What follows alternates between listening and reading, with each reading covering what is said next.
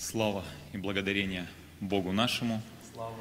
Дорогие братья и сестры, я сегодня рад быть здесь вместе с вами. И мне хотелось бы представиться, потому что думаю, что со многими из вас э, я не знаком. Э, я приехал из России, э, из Пермского края. Там есть такой небольшой городок с очень колючим названием. Называется Оса. Но так как мы дети Божьи, мы стараемся никого не жалить. Хотя и название нашего города очень колючее. Город наш древний. А там еще в свое время была крепость. Пугачев там еще воевал. Эту крепость когда-то взял. Вот в таком городке я живу, являюсь служителем по местной церкви. И сегодня мне хотелось бы... А, меня зовут Валерий. А, мне хотелось бы сегодня а, поделиться такой простой евангельской темой, а, которую я назвал «Важность богоискания в нашей жизни».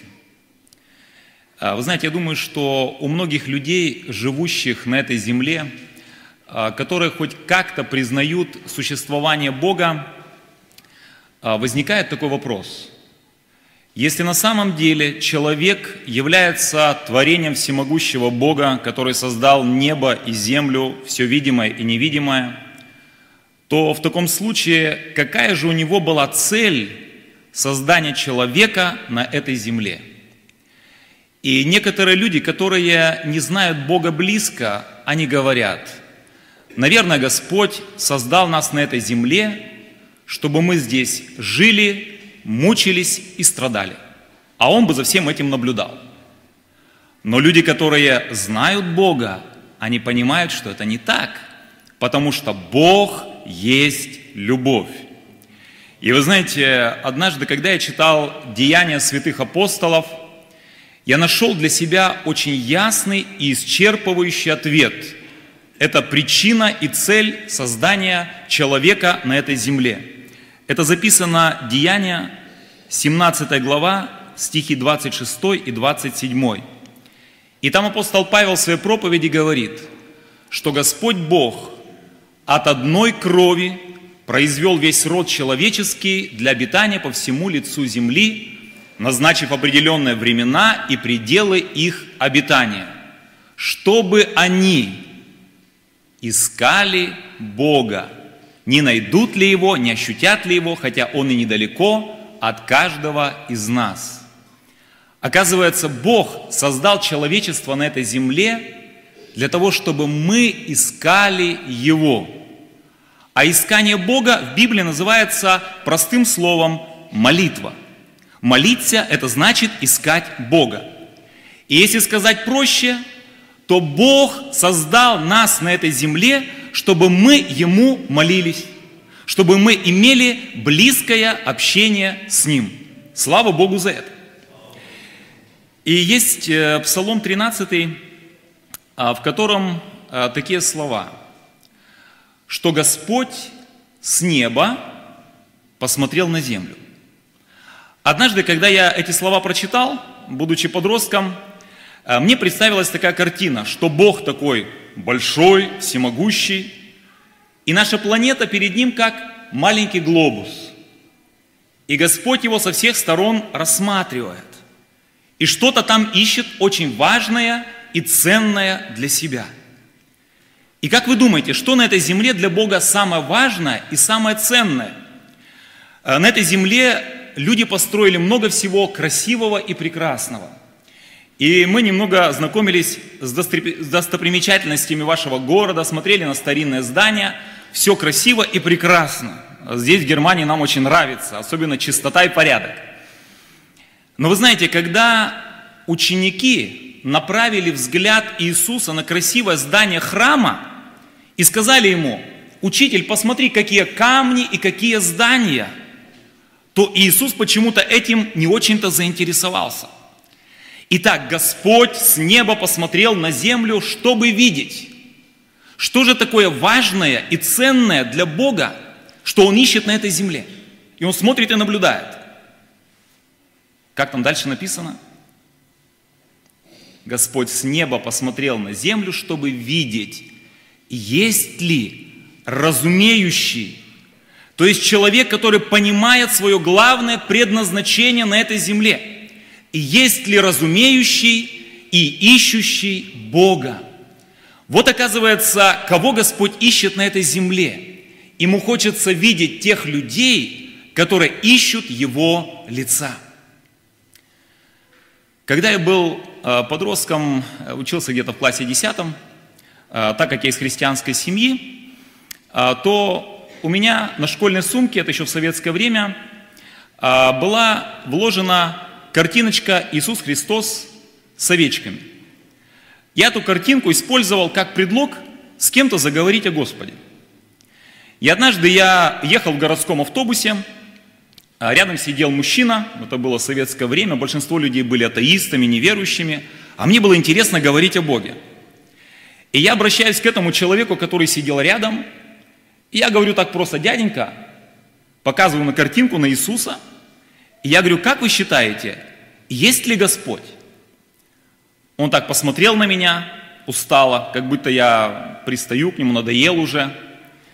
И он говорит, знаешь, мальчик, я, говорит, не знаю – есть он или нету его. Но для меня было бы лучше, если бы его не было. И вы знаете, наш разговор сразу оборвался.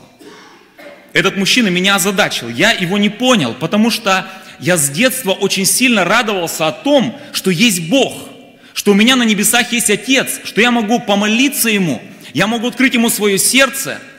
И уже в детстве были такие моменты, что мне на сердце было тяжело, и я помню, приду домой, я уже знал, что мне надо делать. Я зайду в свою комнату, закрою дверь, начинаю молиться, по щекам текут слезы, и мне становится хорошо, и Господь мое сердце успокаивает. И я не понял ответ этого мужчины, почему же для него лучше, если бы Бога не было. Благодарю.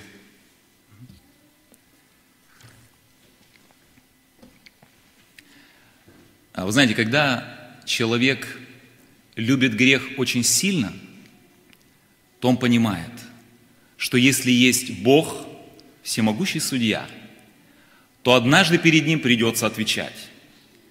И поэтому он думает, лучше, если бы его не было. Погрешу, умру, и на этом все закончится. Перед поездкой а, я посещал небольшую нашу группочку в поселке – и на обратном пути с нами ехала сестра из этой группочки, и она рассказывала о том, как она пришла к Богу. И она говорит, еще в детстве, когда я была неверующая, и в школе говорили, что Бога нету, и я, говорит, выходила к реке, смотрела на природу, и мне, говорит, становилось так хорошо, а в душе такое сожаление. Жалко, что Бога нету. Хорошо, если бы он был. И человек, который рассуждает по-другому, хорошо, если бы он был, то именно такие люди, они находят Господа.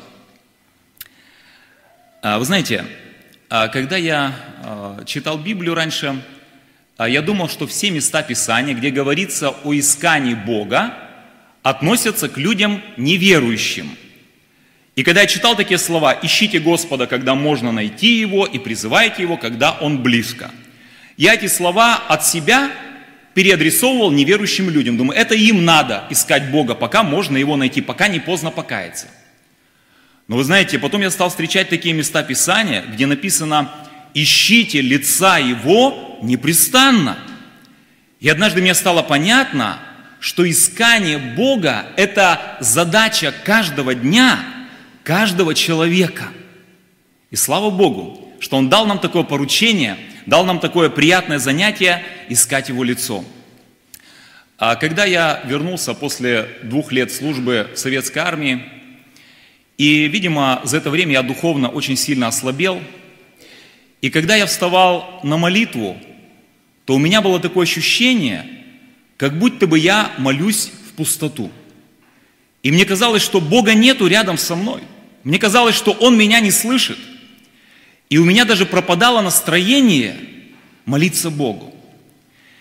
И помню, в этот тяжелый период моей жизни а, я подошел поговорить с одним служителем. И я ему говорю, вот я молюсь, обращаюсь к Богу, но такое ощущение, как будто бы он меня не слышит. Как будто бы я разговариваю с пустотой, и его нету со мной, и я не могу его найти. И этот брат был очень немногословен, и он мне сказал, Валера, знаешь, говорит, в Библии написано, что все равно надо прилагать усилия. И вы знаете, такое простое наставление моего служителя влило в меня уверенность и желание снова продолжать усердно искать Бога. И я помню, после того разговора я пришел, зашел в комнату, закрыл за собой дверь, как написано в Библии, и стал молиться Господу. Сказал, Господи, хотя я не могу Тебя найти, хотя я не переживаю Тебя своей внутренностью, но я все равно буду искать Тебя, я все равно буду молиться Тебе. И так помолившись, я лег спать. И во сне я вижу, держу в руках Библию, открываю ее, и в это время я слышу, как со мной к моему сердцу заговорил Господь. И вы знаете, когда Бог с тобой разговаривает, то ты это понимаешь. И это был голос негромкий, но проникающий в мое сердце. И вы знаете, это был как бы шепот, но этот шепот меня пробудил. И когда я открыл во сне Слово Божье, и я услышал такие слова, Бог сказал моему сердцу, ищущих меня я не оставляю. Я просыпаюсь от этого голоса. И знаете, в сердце такая радость, в сердце такая легкость, э, в сердце такое понимание, что сейчас со мной разговаривал Бог – и он ответил на вопрос моего сердца. И мне казалось, что я ищу его, а его нету рядом со мной. Но Господь сказал, если кто ищет меня, то этого человека я не оставляю. И я все-таки решил проверить по Библии, Господь ли разговаривал со мной. Потому что к тому времени я был научен, что если ты получил какое-то откровение, услышал какой-то голос – то проверяй по Библии. Если это откровение, если этот голос Библии не соответствует, то это принимать нельзя. И я взял библейскую симфонию, думаю, интересно, есть ли что-то подобное в Библии, потому что я не помнил, чтобы какие-то слова такие были в Писании. Ищущих меня я не оставляю. И по библейской симфонии я нашел подобное место. Оказывается, царь Давид имел это откровение много лет назад – и он этими самыми словами молился Богу и говорил, «И будут уповать на Тебя, знающие имя Твое, потому что Ты не оставляешь ищущих Тебя, Господи». Слава Богу за это. И поэтому, если даже тебе трудно молиться, если тебе кажется, что молитва сухая, если кажется, что молитва не идет – но Господь оценивает твои усилия. И всякий раз, когда ты встаешь перед Ним, и ты начинаешь с Ним разговаривать, и даже если ты ничего не почувствовал, Он с тобою, потому что Господь с неба смотрит на землю, чтобы видеть, есть ли на земле человек, который ищет Его. И когда Он видит такого человека, стоящего в молитве, ищущего Его лицо, то Господь сразу приближается к этому человеку. Слава Богу за это. И вы знаете, а, я для себя однажды получил такое откровение, что когда ты просто ищешь Бога и даже ни о чем не просишь, но само Его присутствие, когда Господь приходит, оно благословляет тебя. И Божье присутствие восполняет всякую нашу нужду. У меня есть близкий друг – в нашей Осинской церкви, он является моим помощником, нашим диаконом, он бывший афганец. И когда он уверовал, он очень сильно переживал, что жена его никак не хотела идти к Богу. И проходило немало лет, может быть лет 7-8, а жена его была в мире. И некоторое время они где-то полгода жили на Дальнем Востоке, уезжали, потом вернулись обратно, в Приморском крае – и он там очень много времени проводил в молитве, в изучении Библии. а жена часто была у своей дочери, которые жили на некотором расстоянии. И добираться надо было через тайгу буквально. И однажды, когда он дома был один, а жена была у дочери, и я, говорит, молился, искал Бога, и вдруг, говорит, ощутил такое необыкновенно близкое божественное присутствие. И я, говорит, внутренностью ощутил, что Бог обращается сейчас ко мне, подобно как тогда обратился к Соломону, когда явился ему. И Господь обращается в этом общении к брату Василию и говорит, проси, что хочешь. Я говорю, чувствую, Господь так близко и предлагает выполнить любую мою просьбу. И он даже не задумываясь говорит, Господи, я хочу, чтобы уверовала моя жена. И в этот день произошло величайшее чудо. Перед этим были такие события, а в их поселке стали теряться собаки. И люди стали видеть большие следы, предполагали, что приходил тигр уссурийский и собак воровал. И эта женщина с Урала, которая никогда с тиграми дела не имела, она очень испугалась. И в этот день вечером ей нужно было идти до остановки через лес для того, чтобы вернуться домой. Я нашла и думала о тиграх. То сейчас выйдет тигр из тайги и ее съест. И вот она идет и начала молиться Богу. Говорит, Господи, если ты меня сохранишь от тигра, то я буду тебе служить. И как вы думаете, Господь сохранил ее? Сохранил. И она благополучно дошла до остановки. И в этот момент слава Божья сошла на нее. И она, говорит, я посмотрела на небо и почувствовала такую любовь к Иисусу Христу. Я, говорит, закричала, она была там одна, остановка среди леса. Я, говорит, закричала, Иисус, я люблю Тебя. И после этого возвращается домой. После той молитвы, когда брат Василий попросил у Бога, чтобы она уверовала – и она пришла домой и ничего не говорит. Я, говорит, смотрю, жену как будто бы подменили. Какая-то она не такая. И там не было церкви, крещенной Духом Святым, и поэтому они приходили на собрание к баптистам. И брат, э, который руководил разбором слова, он проводил очень длительные разборы слов в течение трех часов, без перерыва. И Василий говорит, жена стала со мной приходить на эти собрания. Я, говорит, думал, как бы она не утомилась за эти три часа. И когда, говорит, мы выходили с этого разбора трехчасового, я, говорит, начинал таки успокаивать, ну, это, конечно, как бы, может быть, тяжело тебе было. Как тяжело, говорит, мне очень понравилось.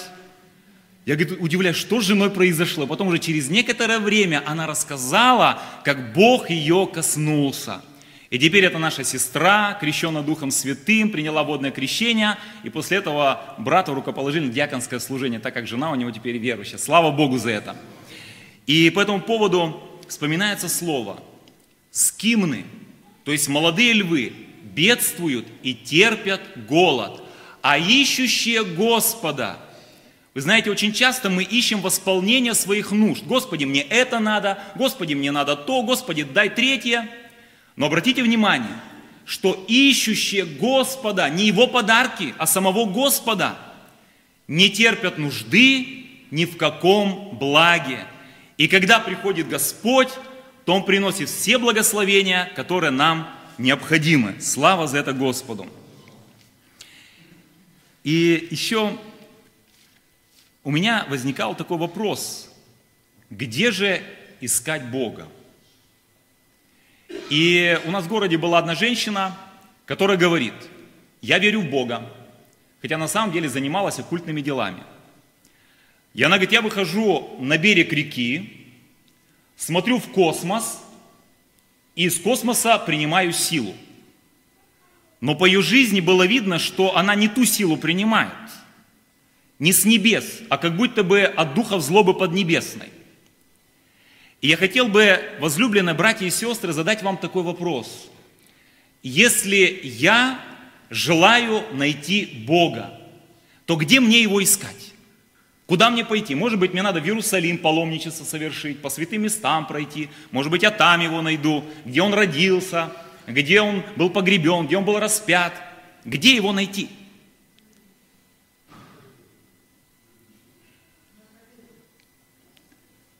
Один пророк сказал, один пророк сказал, я буду искать тебя во внутренности моей с раннего утра. Оказывается, далеко ходить не надо, потому что мы с вами, дети Божьи, крещенные Духом Святым. И Писание говорит, вы храм Божий, и Дух Божий живет в вас. И поэтому, если я хочу найти Бога, мне нужно искать Его во внутренности своей. Слава Богу за это.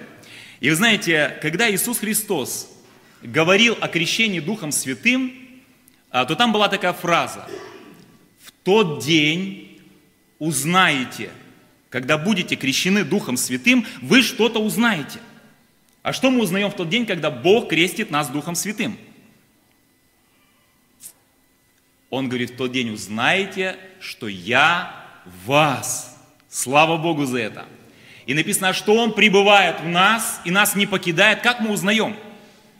Какой у нас есть индикатор Божьего присутствия в нашей жизни? Он же невидимый для нашим глазам физическим.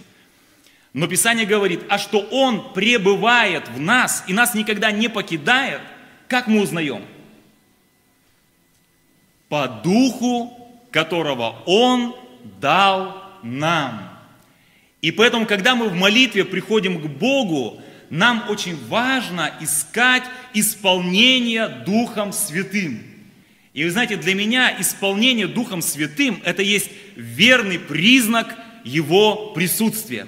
Он, конечно, нас не оставляет, Он нас не покидает, но вы знаете, в те моменты, когда ты приблизился к Богу, и когда ты наполнился Духом Святым, и когда из твоей внутренности текут реки воды живой, и вы знаете, сегодня утром, когда мы с братом Володей молились за это служение, и вы знаете, Господь по своей милости, не по каким-то нашим делам, не по каким-то нашим заслугам, мы были даже такие не выспавшиеся какие-то, но вы знаете, Господь так наполнил меня. Вот вчера мы были свидетелями, как Господь нескольких братьев крестил Духом Святым. Они были такие радостные, они были такие просветленные. Язык у них там раз-раз-раз так во рту бегает. У них такие новые, свежие переживания. Слава Господу за это. Но вы знаете, иногда бывает, что молитва на ином языке, к сожалению, как бы это ни было прискорбно, но для некоторых христиан становится обыденностью, чем-то таким простым, обычным таким. Но вы знаете, именно в тот момент – когда ты ищешь Господа, когда ты молишься, когда ты просишь наполнения. И вы знаете, Бог наполняет таким образом. И может даже бывает, что какие-то новые звуки, какие-то новые слова, какой-то новый язык. И сегодня утром, когда мы молились, и там такая интересная речь была из моих уст. И вы знаете, у меня было такое ощущение, как будто бы сегодня утром произошло такое обновление, такая пятидесятница, как будто бы э, не более 20 лет назад, а как будто сегодня утром Бог меня крестил Духом Святым. Слава Богу за это. Вы знаете, это, это обновление, это, это духовная баня такая, это духовный душ, это такая свежесть, когда ты заново, так по-новому переживаешь Божье присутствие. И вот знаете, как Писание говорит, такой образ есть. Я умощен свежим елеем. Вот когда я пресвитер и бывает молюсь помазанием елея, и когда илей долго хранится в бутылочке, он портится и издает неприятный запах. И илей приходится менять. И вы знаете, а свежий илей, он издает такой приятный аромат. И вот псалмопевец говорит, я умощен свежим елеем. И вот этого умощения надо искать. Вы знаете, иногда бывает, что некоторые христиане покаялись, приняли водное крещение, получили крещение Духом Святым, знамение языков и успокоились. Я стал уже, как все мои братья и сестры, я такой же, как они, и мне больше ничего не надо. Но Писание говорит, что Бога надо продолжать искать каждый день. И Слово Божье говорит, и не упивайтесь вином, от которого бывает распутство, но исполняйтесь духом, то есть будьте переполнены духом. Если в чайнике есть вода, несколько капелек, то можно сказать, что вода есть. Но семью чаем не напоишь. И есть христиане, крещенные Духом Святым, и ничего не скажешь, Дух Святой в них живет. Но мера наполнения несколько капелек. Но для того, чтобы напоить семью, необходимо, чтобы был полный чайник. И вот апостол Павел говорит, и не упивайтесь вином, от которого бывает распутство, но исполняйтесь духом. Будьте переполнены духом. И это чудесное переживание, которое мы с вами, дорогие братья и сестры, евангельские христиане, крещенные Духом Святым, мы знаем, что такое наполняться Духом Святым. Но вы знаете, в моей жизни бывали такие периоды. Вот я молюсь, кажется, что есть Божье присутствие, кажется, все хорошо вроде бы, но однажды настолько находишь Бога, настолько входишь в Божье присутствие, и думаешь, так на протяжении прошедшего месяца, мне кажется, я не наполнялся Духом Святым. Вот оно сейчас пришло, сейчас я это имею. И вы знаете, а, мы, конечно, принимаем верою, что Бог любит нас, и Он к нам благоволит. Но интересно сказал псалмопевец Давид в псалме 22. Он сказал, чаша моя преисполнена, то есть переполнена. Я узнал, что оказывается на Востоке был такой обычай в древние времена, что когда в дом приходил в гость, ему наливали в чашу какой-то напиток. И когда он его выпивал, ему снова подливали. Он выпивал, ему снова подливали. И до тех пор, пока в его чашу подливали напиток, он понимал, что его хотят видеть в этом доме. Он здесь желанный. Но когда он заглядывал в свою кружку, и там не было уже напитка, он понимал, пришла пора уходить. Я уже здесь не нужен. Но, смотрите, Давид говорит, чаша моя преисполнена, переполнена – и оказывается, в их обычае было такое, когда приходил очень дорогой и очень желанный гость, ему наливали чашу до краев, что она даже переливалась через края. И этот гость понимал, что он здесь очень желанный, его здесь очень любят и очень хотят видеть. И вы знаете, Бог нас любит, Он к своему народу благоволит. Но когда в молитве ты находишь Его лицо, и когда ты наполняешься Духом Святым, и когда чаша твоя преисполнена, и к тебе приходит озарение, Боже, как же ты любишь меня, как же ты благоволишь ко мне, кто я такой, что ты обращаешь на меня внимание, Давид сказал, что есть человек, что ты помнишь его, и Сын Человеческий, что ты обращаешь на него свое внимание. А я э, читал свидетельства о христианах, крещенных Духом Святым, а, начала 20-го столетия.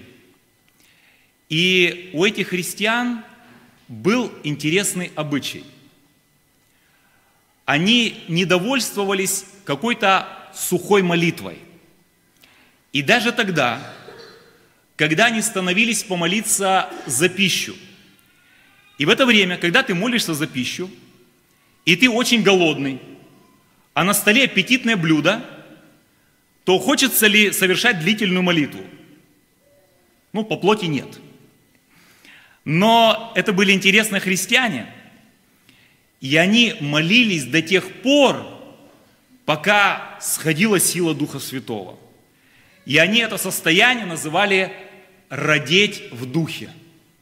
То есть радоваться в духе. И вот когда они молились, молились, и вот сходил когда Дух Святой, и они начинали радоваться в духе, вот тогда они могли сесть за стол и принимать пищу в веселье и простоте сердца.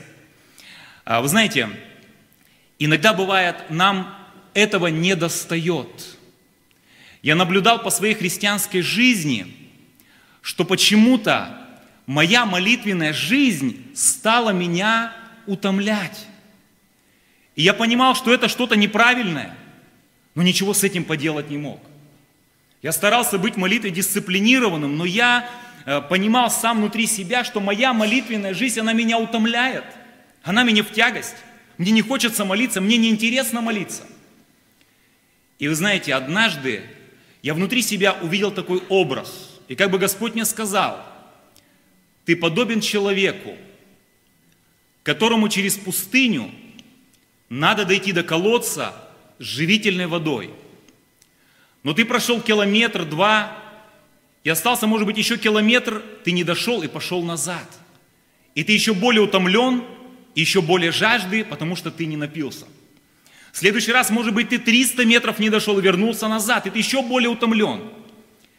И Бог мне дал такое откровение, что если ты хочешь, чтобы твоя молитвенная жизнь тебя радовала, то старайся в своих молитвах доходить до колодца. И ты внутренне ощущаешь, что вот, теперь я напился. Вот теперь я жил дух мой, слава Богу. И вы знаете, такая молитва, она не утомляет. И такая молитва, она влечет, ведь хочется еще и еще молиться, еще и еще искать Господа. И в завершении Э, моей проповеди э, я хотел бы еще э, рассказать пару свидетельств о силе молитвы. Вы знаете, бывает такое, что мы со своей стороны что-то делаем, прилагаем какие-то старания, спасение грешников, спасение наших родственников, каких-то добрых делах. Но есть такие моменты, когда мы даем себе отчет, что наши человеческие возможности иссякают – и руки наши опускаются. Но я хочу сказать, что когда заканчиваются наши человеческие возможности, и когда руки наши опускаются, то это самое благодатное время вмешиваться Богу. Когда Господь видит, что ты уже обессилел, ты уже на себя не полагаешься, то очень часто именно в это время, когда ты продолжаешь искать Бога, когда ты руки молитвы не опускаешь, именно в это время, когда твои силы и возможности закончились, в это время вмешивается Господь. А, я вспоминаю свидетельство одного брата, который недавно приезжал к нам с Дальнего Востока, с еврейского округа, а, станции Известковой. Там такая давнишняя хорошая церковь. И он рассказывал а, такой случай, что их церковь решила проводить палаточный лагерь для молодежи в лесу, и им нужны были большие 20-местные палатки.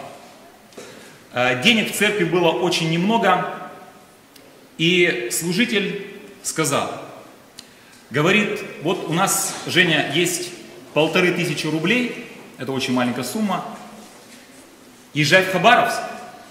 Я, говорит, слышал, что там продают 20-местные палатки. И купи нам две палатки.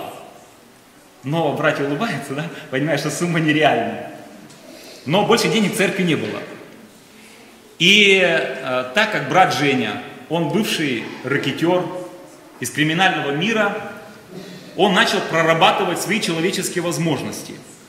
В Хабаровске у него был близкий друг, которых раньше называли новые русские, э, бизнесмен, у него были большие связи везде, и он больше полагался не на Бога, а на этого человека.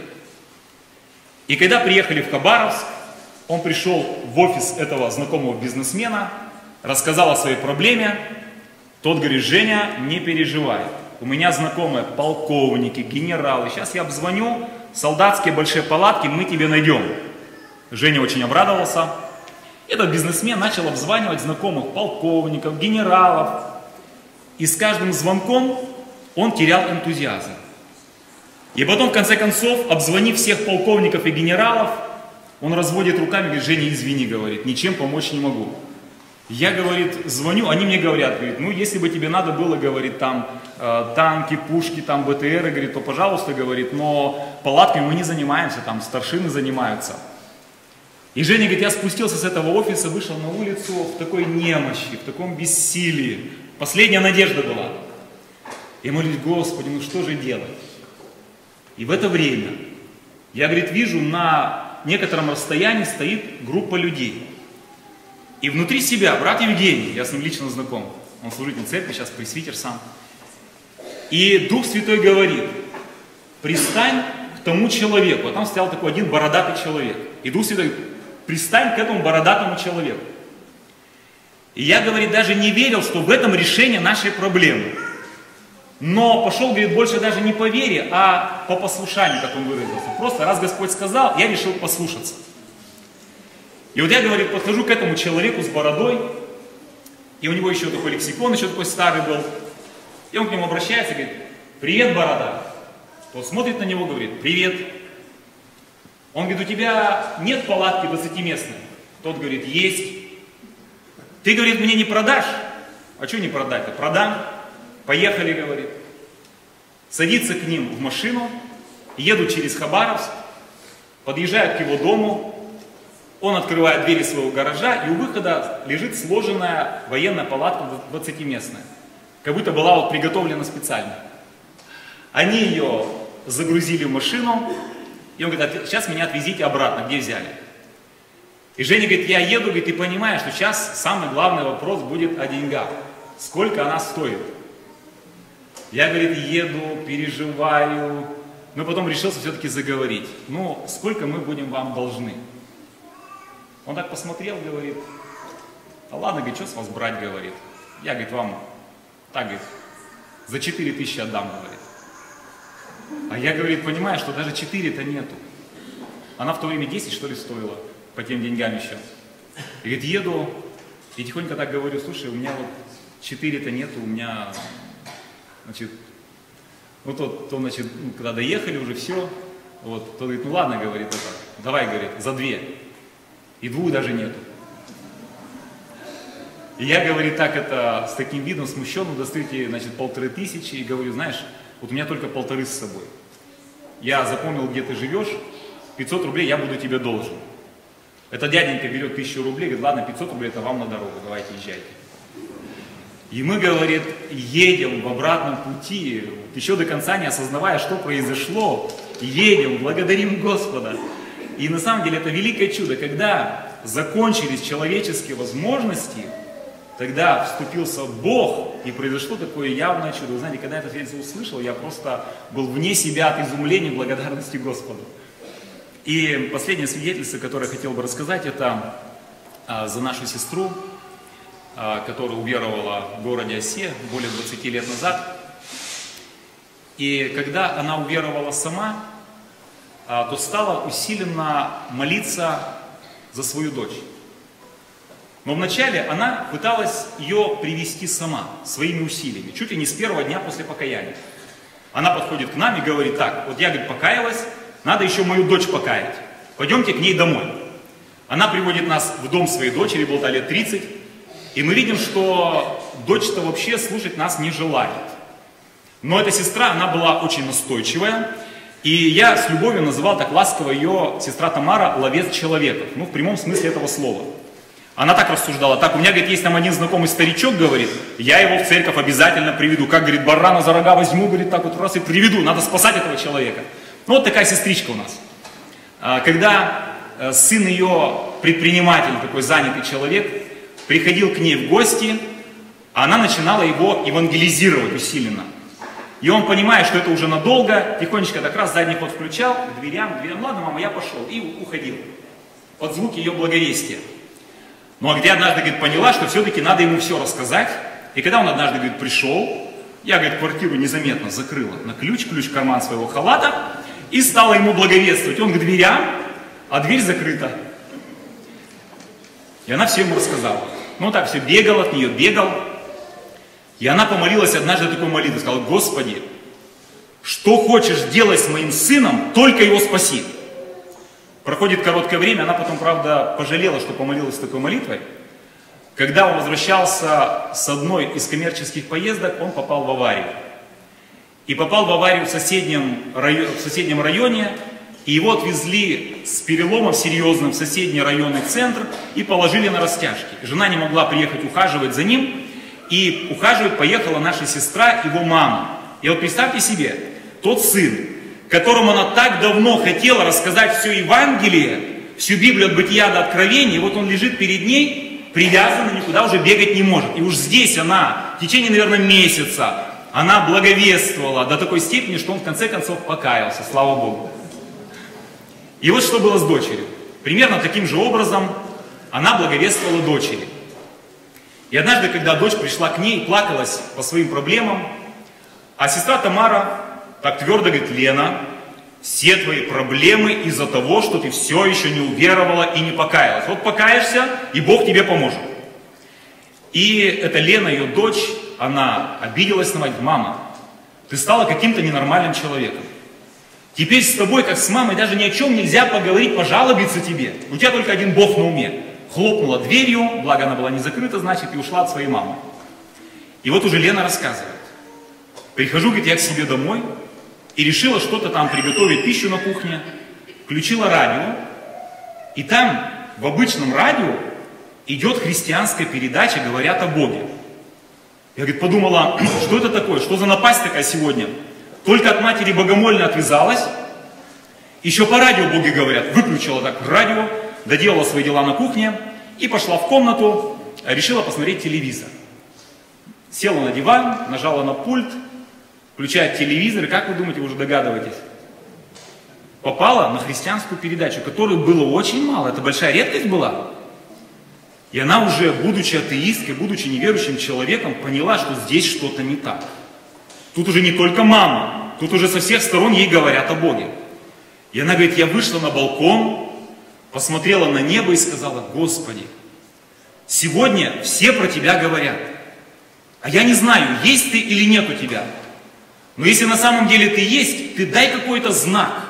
Ты соверши какое-то чудо в моей жизни, чтобы я могла в Тебя поверить.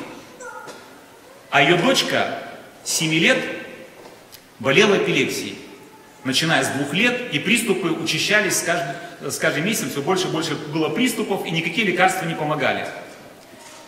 И в этот день, когда она попросила знамения, эта Лена поехала с мужем на дачу, а семилетнюю девочку больную оставила с верующей бабушкой, нашей сестрой Тамарой. И эта девочка уже слышала молитвы бабушки на ином языке. Она очень интересовалась. Говорит, бабушка, а почему ты молишься на каком-то иностранном языке? Она же сестра Тамара, младенец только что уверовавший, говорит этому ребенку, Наташенька, Бог может дать это же самое и тебе. Вот сейчас, говорит, пойди в комнату, помолись, и Бог тебя крестит Духом Святым, и ты тоже будешь говорить на другом языке. Эта девочка пошла с детской верой, помолилась, на нее сошел Дух Святой, она заговорила на ином языке. И знаете, что еще произошло? Исцелилась от эпилепсии. Она уже взрослый человек, эта Наташа получила высшее образование, вышла замуж, и после того дня ни одного приступа эпилепсии не повторялось. Слава Богу! Я хотел бы вместе с вами, возлюбленные, помолиться, прославить Бога и попросить Его, Господи, дай нам усердие молиться и искать лицо Твое усердно каждый день. Аминь. Будем молиться.